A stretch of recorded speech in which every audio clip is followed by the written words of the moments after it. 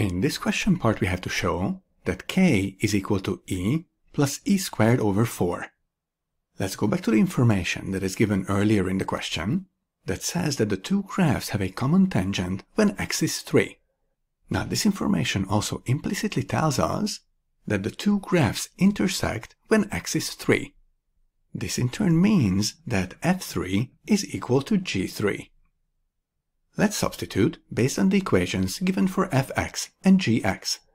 So for f3, we get negative 3 minus h, and here we'll take the value of h from the previous question part, so e plus 6 over 2, and this is squared.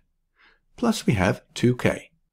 On the right hand side, for g3, we get e to the power of 3 minus 2 plus k. In our next step, let's square 3 minus e plus 6 over 2. So we get negative, the square of 3 is 9, then we get 2 times the product of the two terms, and since one of the terms is positive and the other one is negative, we get negative 2 times 3 times e plus 6 over 2. Then we get the square of e plus 6 over 2, and e plus 6 squared is e squared plus 12e plus 36, and 2 squared is 4. We can subtract k from both sides of the equation, so here we get plus k, and this is equal to e to the power of 1, or simply e. Before moving on, we'll multiply 2 times 3 times e plus 6, and since 2 times 3 is 6, we get 6e plus 36.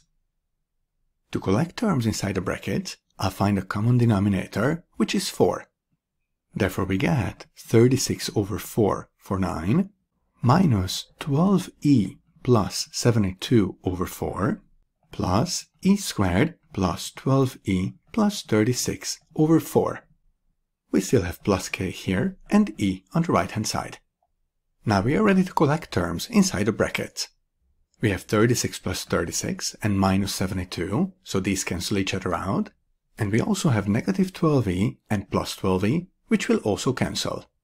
So inside the bracket, we are just left with e squared over 4, and taking into account the negative sign in front of the bracket, we get that negative e squared over 4 plus k is equal to e. From here, k is e plus e squared over 4, and this is what we wanted to show. Let's see a tip that might help you succeed on similar questions.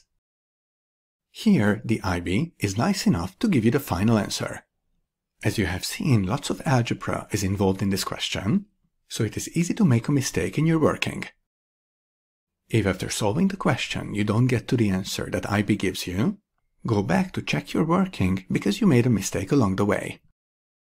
It might sound funny, but sometimes students assume that the answer given in the question is incorrect and that the result they got is the correct one. Even though this is not impossible, it is very unlikely that an answer provided by the IB is incorrect.